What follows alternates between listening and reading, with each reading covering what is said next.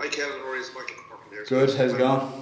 Yeah, very good. Thanks. Listen, um, can I just ask you just about uh, trying to train and operate and mix and leave or lead some kind of a normal life within the COVID environment and, and rugby and everything at the moment? Like there were, you know, a few cases last week and a few cases this week, and um, just as a player, I mean, how conscious are you of the fact that you have to be almost like ultra careful, if you understand what I mean?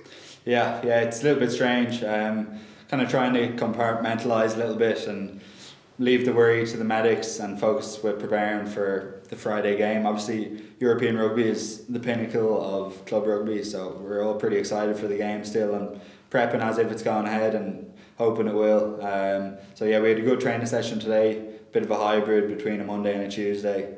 Um, but yeah, no, we're looking forward to it.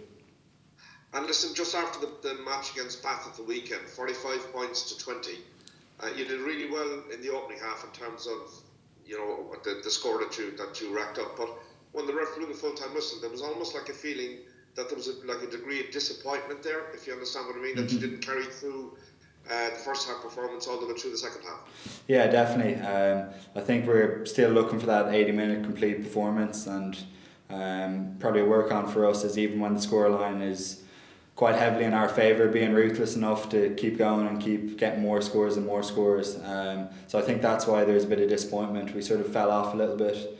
Uh, we were maybe a little bit flat throughout the game, really, um, and sort of lacked a bit of flow, going off, uh, doing doing individual things a little bit and making errors at times, forcing things rather than sticking to our systems. So yeah, we became a little bit unstuck there. And then, as you mentioned, the last twenty as well they won 7 0, so that was disappointing finishing like that too. But at the same time, delighted to get the full five points and a home win in Europe is always good too.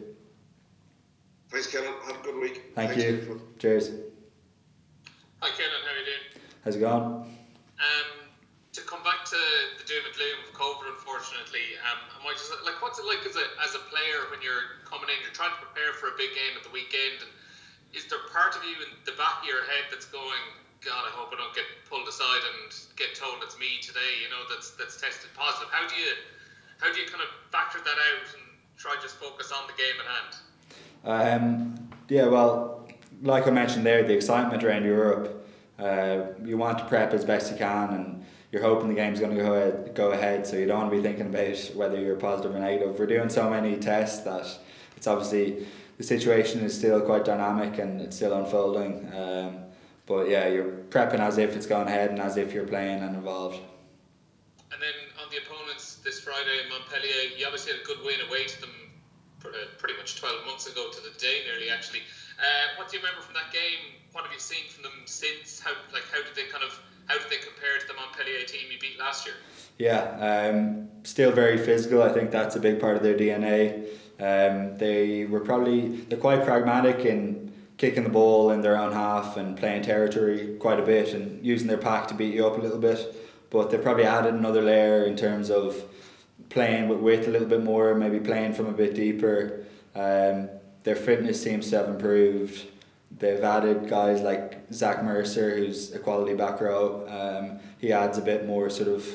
He's got a pretty varied skill set and good hands, and is a pretty key man for them. Um, so yeah, they've definitely got threats throughout. All right. Cheers, Caelan. Good luck on Friday evening. Thank you.